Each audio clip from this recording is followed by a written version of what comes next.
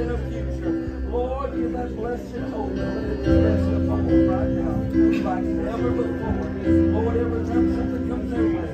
Found myself and lost for words and the funny things. It's okay. That's the